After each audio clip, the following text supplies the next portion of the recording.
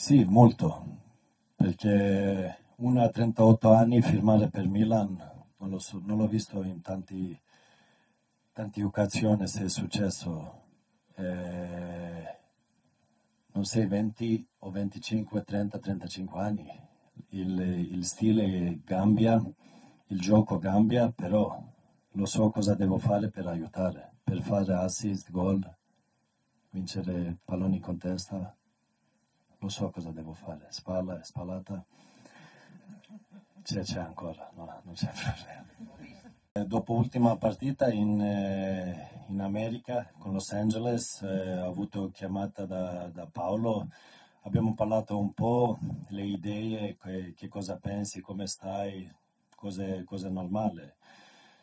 Però a 38 anni ho avuto più richieste di quando ero 28 anni